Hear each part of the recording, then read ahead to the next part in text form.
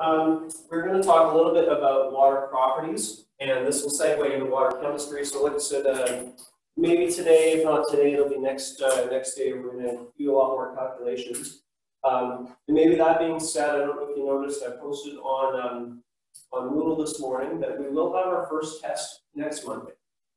Okay, so pencil that in. Um, I'm going to decide how much material will we cover in the test. I'll decide that on Wednesday, kind of based on, on where we get. Um, but probably we'll cover up until Wednesday's lecture. So that'll be all of topic one and a little bit of this uh, chemistry stuff that we're going to get into. So probably some basic calculations, hopefully things that you've seen before around concentration, right? How do you know, you got so many grams of this and you know, how many grams per mole do you have and convert that to moles per liter, those kind of things. Uh, and hopefully, I'm hoping we can do parts per million as well, which is really important in, in um, environmental uh, sciences. So kind of the segue into this is just talking about water properties. So this is water here, and uh, you know you probably know it's H2O. So you know you've got the O, and you've got oh my marker is a little bit on the weak end. Hopefully that's dark enough for you. And uh, you know if we're thinking about our chemistry, water does have a couple of extra uh, sets of unpaired electrons. And, uh, you know, when I look at this molecule here, I always remember that oxygen has a partial negative charge and hydrogen has a pos uh, partial positive charge. Anyone know what this little squiggly is? Is it Hi. Uh, yeah, okay, yeah, yes, yes. Um, it's, it's, it's a Greek letter. That's what I was looking for. Uh, I can't remember which Greek letter this is, um, but it means it means it's a dipole there. Yeah, and it's a partial charge. I think it looks like a little little s in my mind, and so I think it's slightly negative and slightly positive. So you know, I, you know, I'm trying to associate my brain with what that means. And so you know, that's that's the way the water molecule is. So it's bent, and it says here what kind of bonding is present, right? Uh, and so you probably know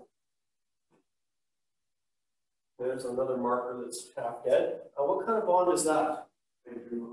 Um, not quite, no. That's a covalent bond. Talk about hydrogen bonding in a second. This is a covalent bond. And a hydrogen bond is if you have another water molecule. So in this case here, I have this on the next slide, but my writing is sloppy. I have no practice whiteboarding this year.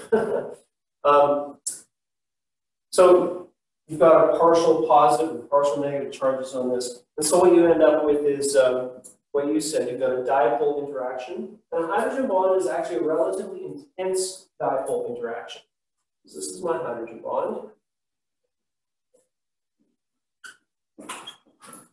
And so it's a little bit stronger than your normal dipole interaction, not as strong as a um, not as strong as an ionic bond, um, but it's strong enough that it gives water some unique properties.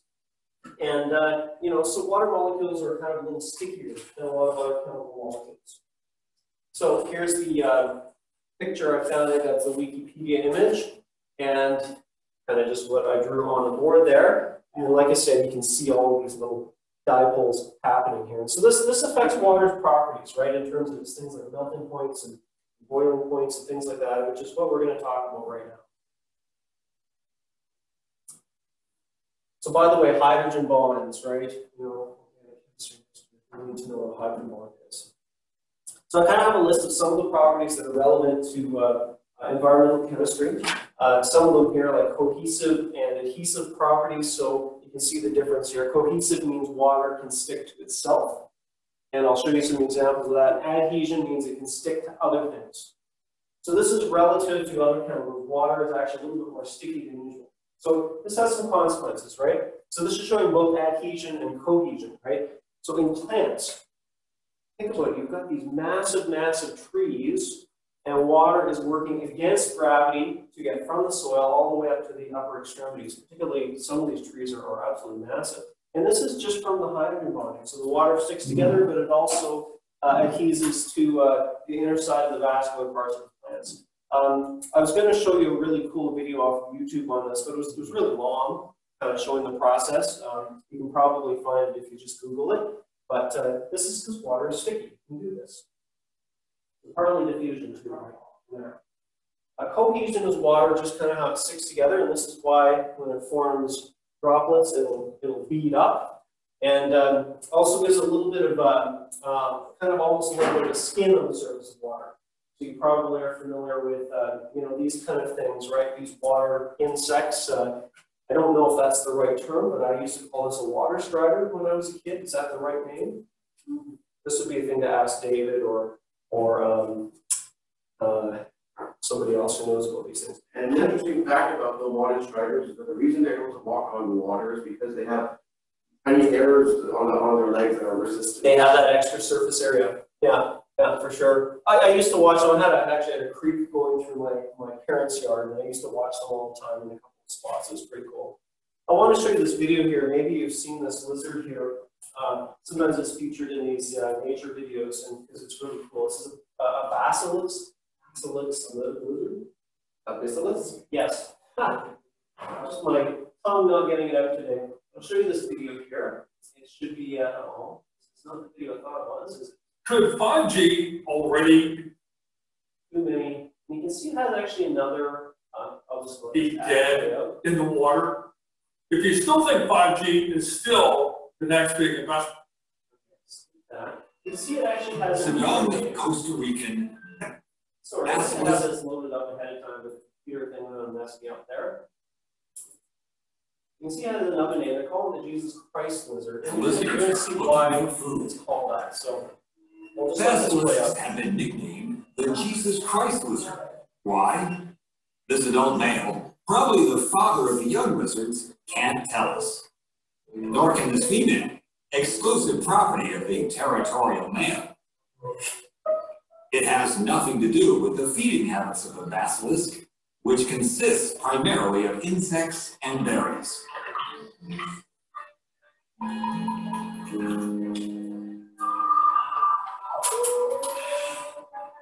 This predatory reptile will help reveal the secret as it stalks the young basilisk. Have you seen these videos before? The basilisk is called the Jesus Christ lizard because it can walk, and well, maybe run on water. It bicycles its hind legs, and the tail becomes a counterweight. That's good. We can't know what the snake is thinking. Did it really want to eat the lizard, or did it just want to show? That's a, that's cool, like it's so, as a, when it says it uses its tail as a counterweight. Yeah, so. Once the moment. like you were saying with the feet, um, if you look at, they, they kind of have these padded feet, and it- probably that's about the largest thing that could do that. Uh, there was actually a MythBusters episode on that where they tried to do that with the counterweight, and was, it was a big foamy tail and, and some big, uh, like they had to make some big shoes like this, and they made it about this far in the water, and then it just went in. But um, this is from this is from basically this hydrogen bonding, this uh, kind of uh, cohesive property that forms, like I said, you can almost think of a little bit of a skin on there, um, where it can uh, it can hold these these animals up. Uh, something else really important with water is it stabilizes temperatures. So again, a little bit more chemistry for you. Um, in terms of the chemistry here, what we're talking is something called uh, mostly specific heat or heat capacity. And this is the amount of energy it takes to uh, warm water up, basically the amount you know, per, per gram per uh, a degree Celsius, right? And uh, since water, it sticks together really well, it actually takes a significant amount of energy to uh, raise it a degree two or so on. So you probably know a lot of machinery and large industrial applications, water is, uh, is a main coolant, partly because it's cheap too, but it works really, really well. But this has uh, impacts uh, on the environment. Uh, there's just some numbers there for you. I don't care so much about the numbers. But uh, if you go to a place like uh, California, right, so you've been, you know, to some of these areas in California, so, you know, Disney World is somewhere over there. Um, probably know California's a pretty nice place, right? It's not a desert. But if you go kind of inland, this is all desert in here. And um, what is happening is that we have the ocean, and the ocean absorbs a lot of the heat uh, that would normally be drying out this entire region here. So as opposed to having a big desert here along, along the uh, ocean, we have, you know, nice sunny, lovely California. I like California, though. Been there a couple of times, it's very nice. Uh, biologically too, it's, it's a good thing to cool us down, right? So we sweat when we're hot, uh, hopefully not that much in, in the, the wrong situation. Um, but it's, it's good to cool us down, right? And as it evaporates, it takes away that heat and uh, it works to uh, help us with our homeostasis. Uh, what else do I have here? Expands when it's frozen. So the density of water changes with temperature. What is density, by the way? That's it, yeah. So density, maybe I'll write that down because I don't think I have on the slide. So density, space here. Density is mass per volume. So usually it's uh, um, usually like in, in grams per milliliter or, or something like that, right? So uh, I'll show you some pictures here. It says here, how does water structure change as temperature changes, right? So in vapor form, so vapor, uh, you've got these molecules and they're just separated. They're not really interacting so much, right? Water form, there's some interactions, but they're kind of, you know, slipping around a little bit, which kind of makes it liquidy. And then in solid form, um, there's just not enough heat and things stop moving, basically. And in the case of water, uh, it locks together and it forms hydrogen bonds in kind of a predictable crystalline kind of lattice. So these, these crystals are, are kind of hexagonal shape. And if you take a look here at the liquid compared to the solid form, these are actually pushed apart a little bit because they're forming a nice ordered lattice. And so it turns out that water is actually less dense uh, when it's in the solid form compared to the liquid form. So this has huge biological implications. Um, there's actually a curve. It turns out water is the most dense at around four degrees Celsius. So, uh, you know, you can see that ice is, uh, is down here and it's less dense. And so the consequences is for us that our ice cubes float when we have a drink. Uh, for animals, um, this is just another diagram. Just trying to show you some diagrams here. This is this this is why aquatic organisms can survive in the winter, right? We had it the other way around. Ice would form at the bottom of the lake and work its way upwards, and the fish would be in a lot of trouble.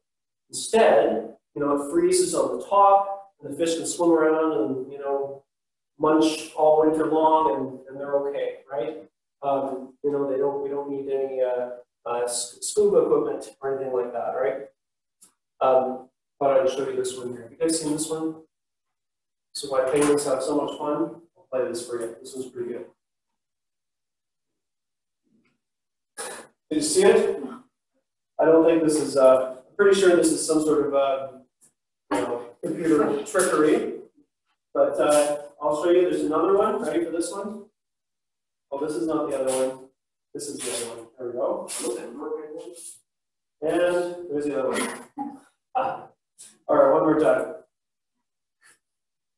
So these are these these are faked, right? I'm pretty sure I found one one time on the same one where somebody does a kung fu kick or something instead. And, you know, you've got ice on top and water on the bottom.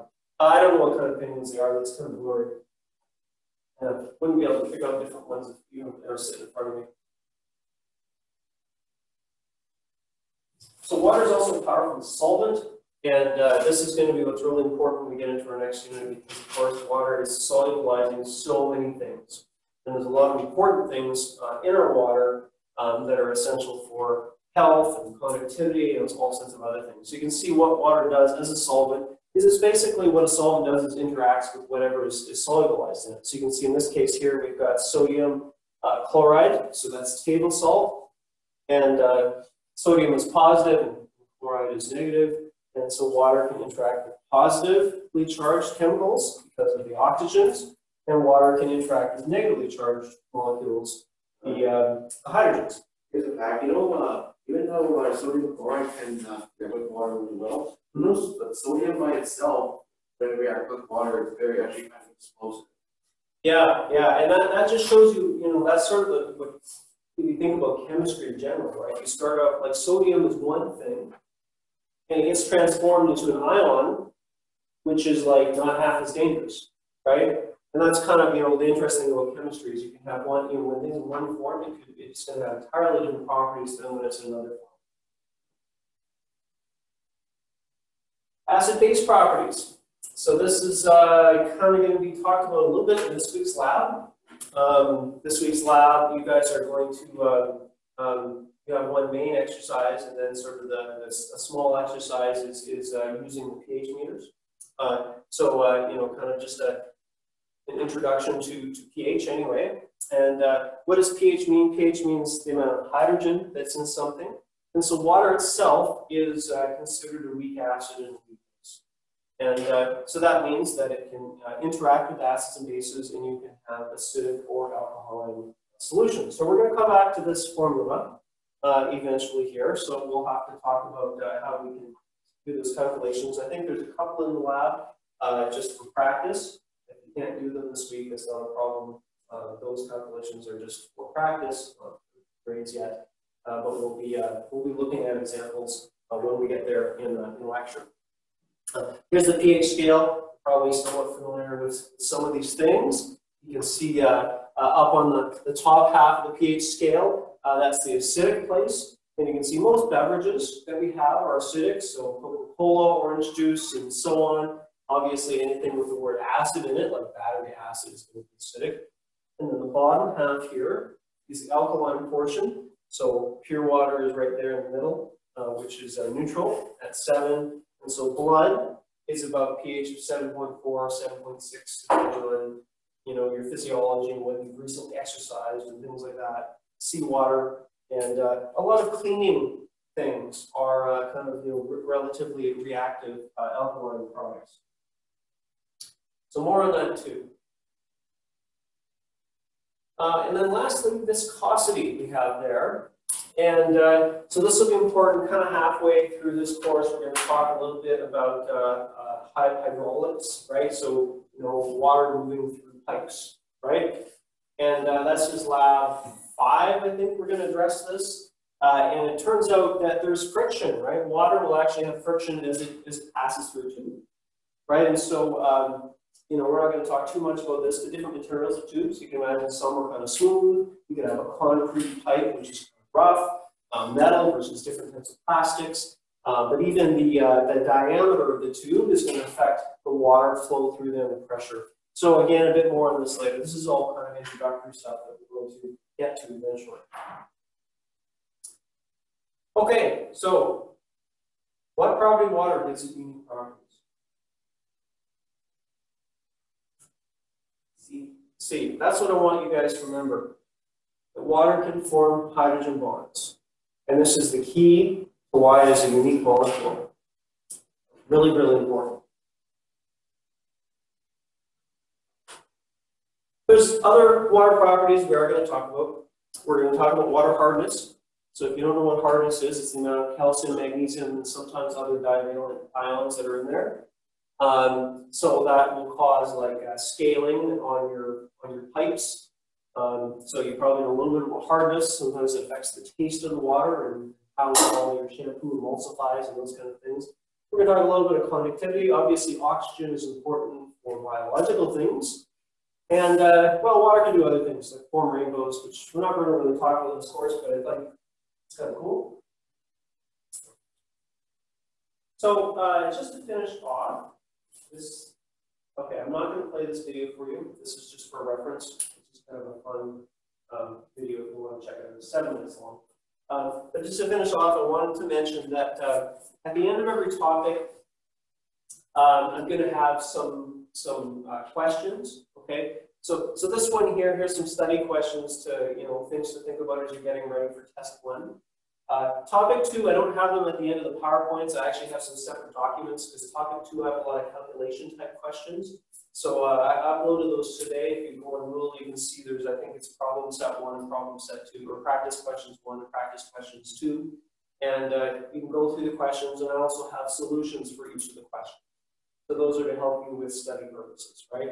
So uh, we're not quite that far yet. But you can see there's some some things that I kind of went through and was like, okay, I think this is important to know, this is important to know. So, uh, as you study, take a look at these study questions. So when you say sources for, uh, maybe, are you talking about the rivers, like the Clearwater River, the Hangingstone River? Yes. The, Yeah, so this one here, right, if you take a look, there's a slide on that, so for example, Fort McMurray, we get our water from, um, the Athabasca River. Uh, Fort Chipewyan gets their water from Lake Athabasca. Right, so those are some of the, uh, so generally, we all get the same kind of water, so the Athabasca. yeah, and it's all from the same watershed, just kind of depends on exactly where the community is, right? Like, uh, Anzac is also from, um, uh, the river, but then if you go down the road to Conklin, they're, I think, Christina River or something like that, which is because they're a little bit off track, right? Uh, fun fact about the Clearwater River, that's the, that's the one river for, that we share with, uh, Fort McMurray also shares with Saskatchewan. Yes, Because it goes yeah, yeah, I was actually talking to someone who canoed it, and they started in Saskatchewan and made it all the way here to Fort McMurray. That sounds really cool, so. Pencil it in on my things and maybe to do someday.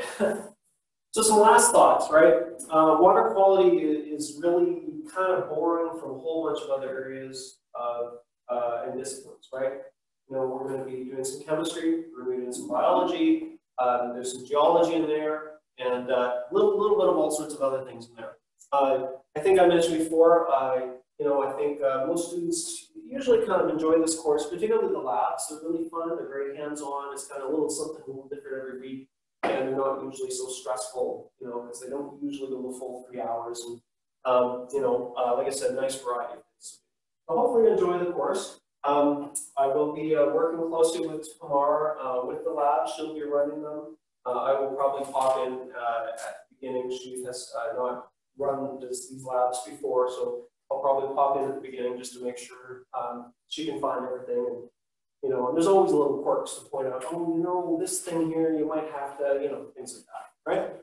So if you have any questions about that as well. Okay, so where are we here? One thirty. Okay, let's talk about some chemistry here. So I think actually right at the beginning, I was going to show you another video, an introductory video. I found this on Yahoo. You might have to watch an ad for five seconds.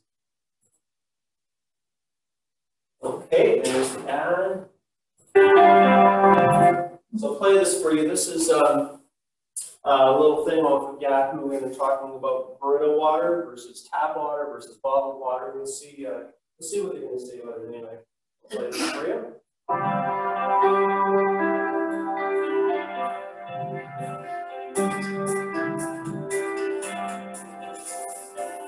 I tested uh, Brita water, tap water, and a bottled water for anionic content, which basically means chlorides, nitrates, and sulfates, as well as for total organic carbons. Uh, total organic carbons basically means everything except for inorganic carbons like carbonates uh, in water, and as well, I tested for lead content in the water samples, each one. First of all, I was not surprised to find that the Brita water and the tap water had very little to no difference between them uh, with respect to all characteristics, both with total organic carbon, which basically means it doesn't really remove anything, and with respect to chlorides, nitrates, and sulfates, I did not see any difference between uh, the samples. I, when I ran the, the, the, test uh, with the Brita water and the tap water, I noticed that uh, the samples, the Brita water was slightly lower, but statistically speaking, it wasn't enough for me to say that the, the, that the Brita water actually removes the uh, total organic carbon content. I found that the bottled water in, uh, with respect to nitrate concentration was five times higher than tap water, and the sulfate about maybe seven times higher uh, than the tap water. We looked at both tap water, Brita water, uh, bottled water, and luckily none of them showed any lead content in them. I drink tap water. Uh, I drink tap water because I guess I've seen it. So before I've had my students run some samples, so I'm pretty safe with it. Um, I do let the water run in Toronto and the outlying GTA area. We've always had a consistent level of water, good water. So it's safe, but we do test our water. I know they test it regularly. You have a population of about five million in this GTA. Uh, it's a vital and paramount concern that if the water has to be tested, and I'm sure it's tested on a daily basis, so I, I don't drink bottled water. Another bonus. So the Culligan and Amazon Springs and stuff like that. Trying hard to get a better signal on your cell phone. That would be considered bottled water? Yeah, now, he doesn't really go into it a lot, and if you take a look at bottled water, um, there's a big range of what it means to be bottled water. Yeah. right? Um, Aquafina, for example, I believe is, uh, uh, run by Pepsi, and it's literally tap water and it's sort of filters. Right, so I think they're deionizing a little bit, um, and uh, apparently putting some carbon filters to remove who knows what. Um, if you look at, uh, Aberfoyle water, that is actually from the town of Aberfoyle, where they have a spring, and it's natural water. And I think it's, it, it's filtered, so it's from a stream. And so that actually has more ions it than, uh, uh, than Aquafina, right? So it kind of depends what you mean by, by bottled water, because there's different, different scenarios, right? If you get something like, um, uh, you know, something more high class, like Perrier, it actually has more ions in it, because that's what gives its flavor, you know, whatnot. But most bottled water is actually stuff that's, uh, it's, uh, uh, done industrially, uh, it's, uh, tap water, and they usually put it through some carbon filters and maybe something right? And, uh, um, and soften it up, so it might have a, a little bit, right? I know some people uh, are really sensitive, they don't really like hard water so much, so they, you know, bottled water, they like it taste better. It's all a matter of preference, I grew up on well water, so, you know, whenever I taste city water, you know, it's, I can taste the chlorine always, right? Um, I don't mind it, I just, it's a matter of preference. But he's saying, you know, in terms of what he could measure on the safety aspect, he didn't have any And uh, that's, that's kind of what you're gonna see in most places, at least large communities across Canada. Uh, tap water, you know, we have very high standards in Canada. Um, notice I said very large communities, there's there's a number of remote communities, particularly Aboriginal communities that have issues with water treatment. And uh, I don't know exactly what all the issues are, but in many cases, they don't have treatment facilities. And, uh, and so, um, you know, uh, that, that's part of the issue, right? So um, let's talk about some water chemistry, and we're going to talk a lot about uh, kind of you know what can be dissolved in water, right? So I'm hoping that uh, by next day we're going to kind of you know be here, and that this is what the test will cover, part A and part B. Um, the water hardness, I'm not sure if we'll quite get there. We'll see anyway. But I want to talk about ions and uh, different ways to talk about concentrations. So I guess the first question here is, oh, there's some there's some resources. By the way, I have a lot of links on these. Sometimes I'll put what I think are the most important ones at the beginning of the PowerPoints. Um, you know, so if you're if you're struggling with, with some areas around, say, milliequivalents, we're going to talk about. Here's here's a link that I thought was pretty decent on milliequivalents. So there's something that we're going to talk a lot about, and uh, they're kind of just a little bit of a different way of thinking around the chemistry. They're not too bad, and I'll try to point out what I think you know are the there's going to be one formula, for example, that's going to be important to know. Um, but after that, it's just not too bad. And then hardness and, uh, you know, some samples around having the hardness and, and alkalinity. So some definitions, hopefully you know these ones. Grade six. Somewhere around there, you learn about solutions. Um, solution is a mixture of two things. It doesn't have to be liquid, by the way, right? Um, Brass is a solution of metals. It has copper and I'm not sure what else in it. Um, and that's a, that's a, um, a solid solution. But usually when we think about solutions, we're usually thinking of liquids and probably usually we're thinking about something dissolved in the water. And in this class, it will always be water. Uh, and that will be the solvent, the thing of which the, sol um, solutes are dissolved in.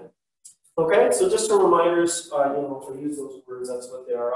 Um, probably not going to use them too so it says here what types of particles are dissolved in water. Uh, and there's a big list here. And uh, uh, like I said, think some things we're going to talk about. Uh, and a big thing that we're going to talk about a lot, a huge part of water analysis is what ions are in there. Right? So we've already talked a little bit about sodium uh, chloride. Uh, we talked about, the guy mentioned lead, calcium, magnesium, and sometimes these will give water various properties right? So lead, for example, is toxic. We don't want that in water. Um, a little bit of sodium, a little bit of chloride is a big deal. A little too much, and it's going to taste salty, right? Uh, has anyone ever had mineral water that tasted kind of salty? Yeah, so sometimes there's sort of that edge, right? So I mentioned Perrier. Um, I found out my brother really likes Perrier and kind of got into it a little bit of it. It's tasty. Like it's it's not bland, right? Um, but then I tried another mineral water and it was certainly on that edge of where it's like, okay, that's too much. And, and I would called it salty. Uh, hardness, like I said, calcium and magnesium, acidity and alkalinity. And then there's a few other things that are going to be important we'll get to eventually. So dissolved gases like oxygen is the important one for, uh, for biological things uh, and organic compounds as well. So what's an ion? What do I mean by ion? Well, ion is something that either loses or gains in it. Yeah, so it's, it's, uh, it's either uh, has too many or not enough electrons, so it has a charge. Um, so, you know, sodium is an example here, and uh, there's a whole bunch here to know. Um, so maybe you can tell me if you know these ones. So that one is an easy one, right? That one's sodium. And we also mentioned, actually, I'll put them in two groups. This one's chloride. So what's it called if you have a positive charge? Anyone know the word for that? So that's a cation, yes. I always have to think about that one. and I'll tell you my tell you my thought process. I remember when I was a university student, my very first year, we were talking about cations for some reason, and one guy says, Yes, and I always remember what a cat is because it's like a cat. Cats are a positive thing. And whether you agree with that or not, I remember that conversation. and, and that's how I remember which is which, still to this day. And then, of course, we have anions. Uh, what else do we have here? Um, well, there's this one here. Which one is that? Potassium, good. Potassium. And what else do happen here? Okay. Uh, this one, this one. That's right, calcium and magnesium. I'm going to try, there's a marker here, see, let's see if this one's any better. It is, all right, we're in business, look at that, oh, oh, so much better. Um, okay, what else do I have here? Okay, then there's these, these, these complex ions, right? Um, so we have, uh, see here. So,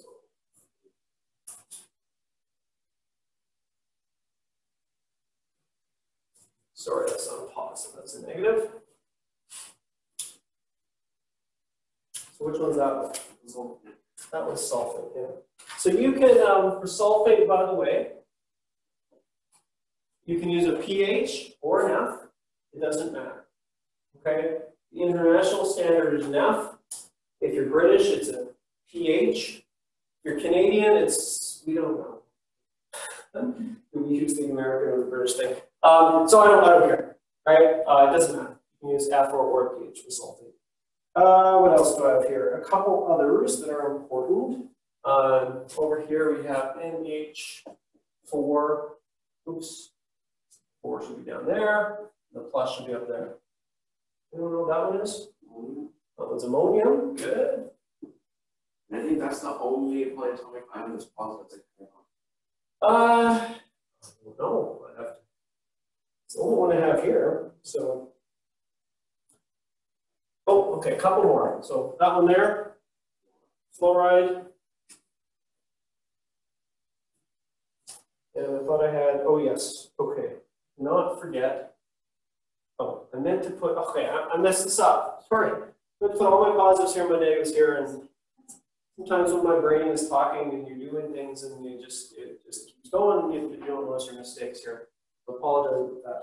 These ones here are negative. I've got this one here. I've got H CO3 negative and CO3 2 negative. I don't know what those ones are. The first one's bicarbonate or hydrogen carbonate, and That's right. Is the, there's carbonate. The bicarbonate and carbonate. I don't actually know why this one's called bicarbonate because I don't see two of anything. Probably some reason. Um, bet you Google could tell me, but I just don't know the answer.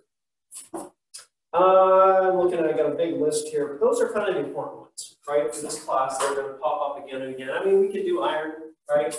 What's the, what's the atomic symbol for iron? Fe, yeah. Um, kind of comes up once in a while, doesn't really usually affect humans' health. Um, might make your water a little reddish, so we'll, we'll see it there, here and there. So there's a few, e- everything there on the list, at least they have bromide, I guess I didn't mention bromide, it doesn't usually come up that often in water analysis. Um, but does once in a while in, in very tiny concentrations on there. And you can see this is kind of showing, uh, it's comparing seawater, uh, to fresh water, right? And maybe that's why it's on this list, because it's found in small quantities in, uh, in seawater. So most of these ions you're gonna find, uh, in natural sources. Uh, fluoride, maybe, maybe not. So around Fort McMurray, there's natural fluoride in the geology here, so we find it in the river. Uh, in other places, no, uh, kind of just depends on where you are. All right, no clock in here, this is like, it used to be. They renovated this room and removed the clock out of it, that's, not fine. Glad I grabbed my uh, cell phone. So it says here, ions are sometimes referred to as electrolytes, so they can conduct electricity. So we're gonna talk about conductivity a little bit later on. Did you talk about conductivity in your fall classes? Seems to me it used to be part of one of those classes, but maybe they, they switched things around a little bit. So, um, the more ions you have in a solution, the more conductivity, the more electricity can go through something. So we're gonna talk about conductivity a little bit later on in this class, and we're gonna be measuring it in lab three. Uh, and, and, uh, so you're gonna see that there's a correlation between how many ions are in something and the higher, uh, the amount of electricity can pass through a solution. So a little bit more on that later. So I wanted to say a little bit about some of these, uh, ions, um, and some of their sources. You can see this is, uh, talking about some of the sources. And this is the kind of conversations that I'll have with Neil, because he knows all about the geology and it's really all about the rocks and the soils and all these kind of things. And I'm just really, you know, I know this much, and he knows like way too much about this stuff. But uh, you can see a lot of these, like I said, are from natural sources. Um, you know, you've got clays and and uh, you know, uh, calcium, of course, is is from uh, from limestone in many cases. Those kind of things. Um, some of these things are associated with pollution, so salt, for example. Uh, sodium chloride uh, is, is a big component, of course, uh, when we're salting roads and highways. Um, it's not as bad up here because we use dirt more than we use salt.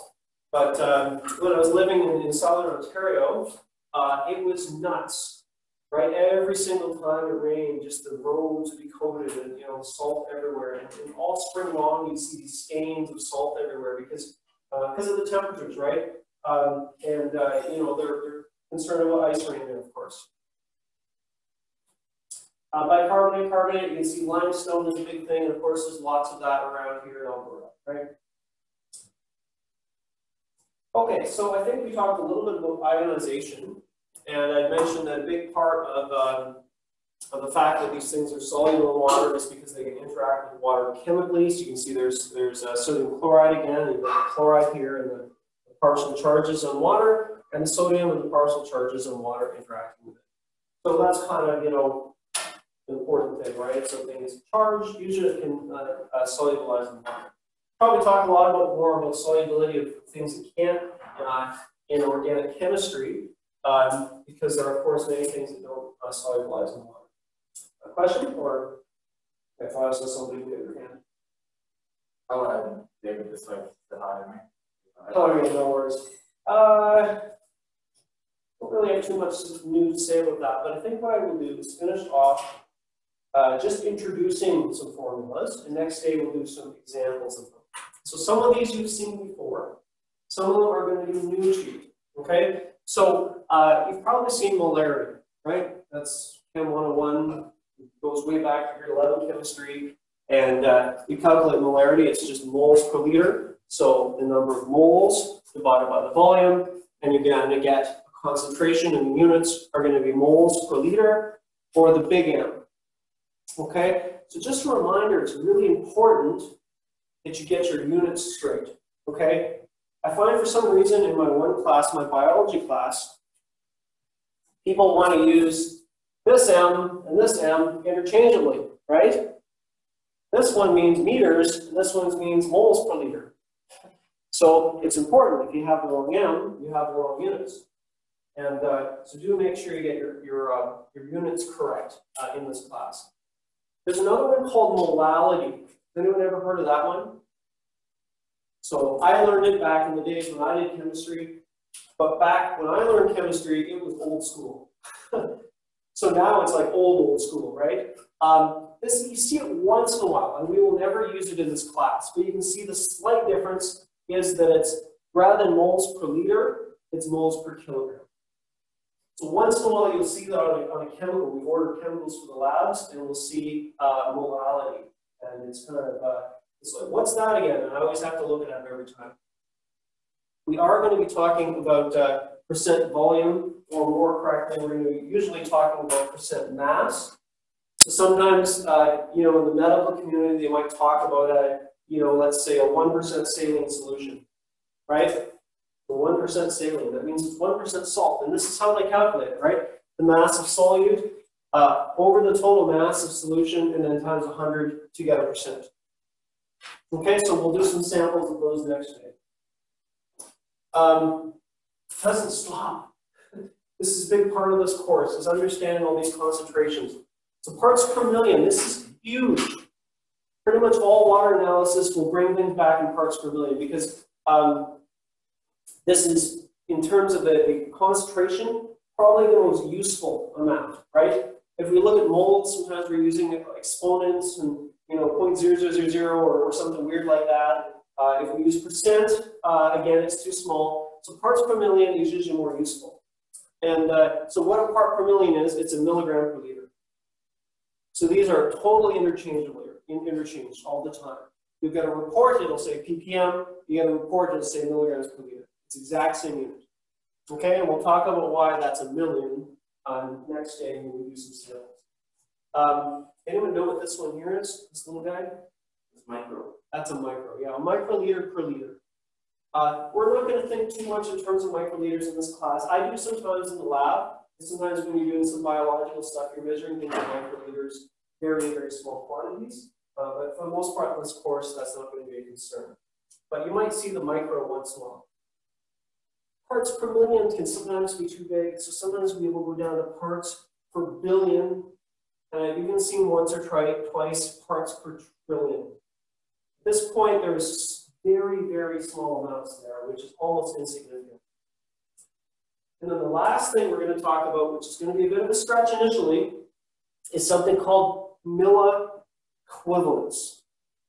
Okay, so this is something that's kind of, um, I would call it old school, but it's still used, particularly in the area of water quality and pharmacology, believe it or not. People are still using something called milliequivalents. So milli this is like a milliliter, right? It's the, uh, the metric thing, so it's a small amount. And equivalence has to do with valence in terms of reactivity. So it's kind of like moles per liter, but it's millimoles per liter, and they're throwing the valence in. Okay? So we'll, we'll, we'll get into that uh, next day, but it's, uh, it's useful in some circumstances. So that's all I have for you today. We're going to do get right into some of these calculations on Wednesday in terms of how to do them.